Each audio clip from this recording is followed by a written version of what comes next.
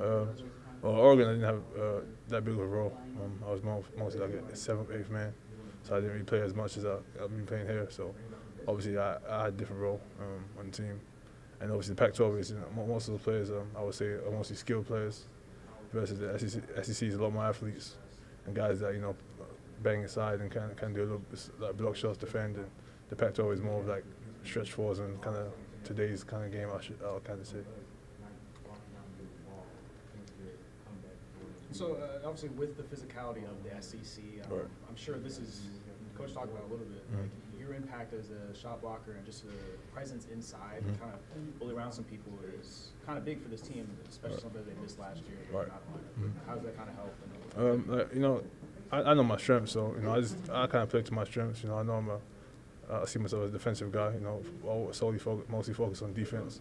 And if I can help out offensively, then I, I will. But my most important um, asset to the team is defense.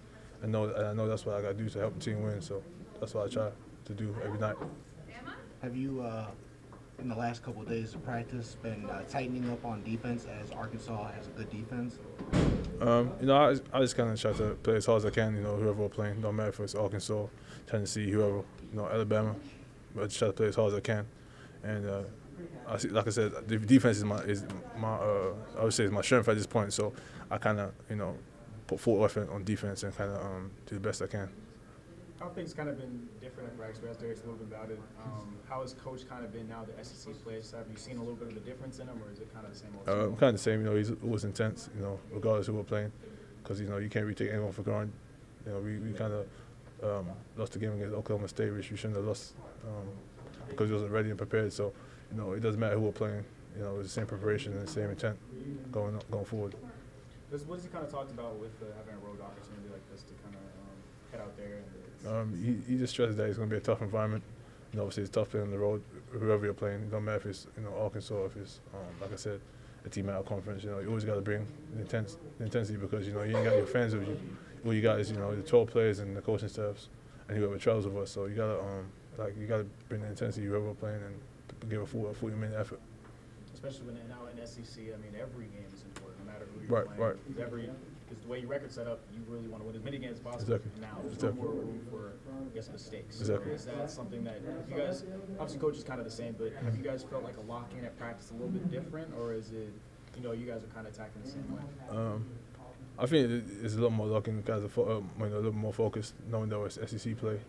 You know, like you said, there's no room for error really. You know, um, and SEC is a great conference, so anything can happen. There's teams that you know you can't take for granted because there's teams that can win games, as you saw on other games um, previously. I think it was yesterday. Some teams that shouldn't have lost lost yesterday. So, um, like I said, you can't take no team for, for granted. You got to give 44, a 40 minute effort whoever we're playing. Does that Alabama win give you guys some confidence going forward? The rest of um, definitely, definitely. Alabama's a great team. Obviously, they beat Kentucky, and Kentucky's a you know well well renowned team, and they got great players in their team too. So being a team like that, that's physical and that's got good, great length, you know, it's definitely a, um, definitely um, a confidence booster. Coach said even after last year, if he had you last season, mm-hmm. it's the difference between two or three more wins, and he said it again after the right. last game. I guess even for you going into this year, did he kind of come to you and say, "Hey, you're, you're going to be the guy. I'm going to maybe be a difference maker, ride you," or uh, how did he kind of set you up to get ready for this year? Um, I mean, I, I didn't. I mean, like he said, he said I could win a help us win a couple more games.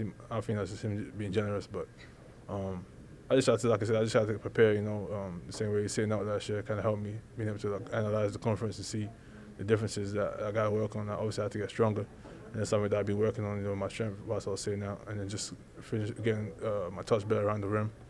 And then defense, that's something that I've always been able to pretty do because I'm, I'm, I feel like I'm pretty athletic. So that stuff was just, you know, but I knew I could bank on is the defense side of the game. So that's just something I've tried to uh, get better with my block, shot blocking ability, and also being able to guard you know, different positions and kind of guard around the rim. So that's something I've been working on, and I feel like it's helped the team so far. You guys have had a variety of different starting lineups, mm-hmm. and uh, it seems like you might have kind of settled in on one. Would you say that's accurate? And, uh, how does this lineup, I guess, help you guys prepare for SEC play versus? Uh, like I said, I, I, don't know if this is the lineup that he's going forward with, but uh, you can't really worry about the lineup. You know, when, when your numbers called, you got you got to step up and uh, be able to perform and, uh, and do whatever you can to help the team. And that's kind of what um, I wanted to do. You know, if I play 25 minutes, if I play 10 minutes, I got to still play with the same intensity, regardless who I'm playing. So, or regardless how many minutes I'm playing. So, um, I don't know if it's the, the lineup you're going with, but I got to um, bring the same intensity regardless. Marlon obviously still in the starting lineup, at least he was last Right. game. I mean, having another big athletic person out there on the floor, how does it help defensively for you? Uh, that helps a lot because you know Marlon can guard mu- multiple positions too with his quickness and athleticism. So having someone like that on the floor is you know definitely helps us a lot.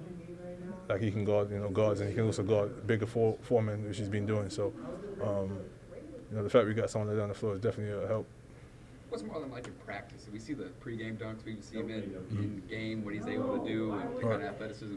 Is he kind of put on a show in practice? Yeah, it's pretty much pretty much the same here. Um, you know with his athleticism, s- some plays that he makes, you, it's just like wow because he's so athletic. So in practice too, he kind of shows us some of that stuff too, and it kind of obviously translates to the game as y'all can see.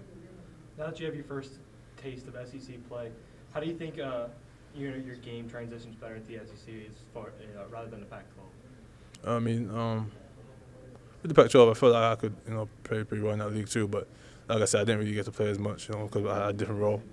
And we had, you know, we had uh, guys that were in front of me at, at, that, at that school, so I wasn't able to, you know, kind of really show what I could do. But I felt like coming here, sitting out, and getting better, and kind of working on my game, it's helped me, you know, prepare for whatever- league I would, be in, even if it's the SEC, Pac-12. So I feel like I've gotten better, and that's the main thing, is just getting better and being able to help the team now.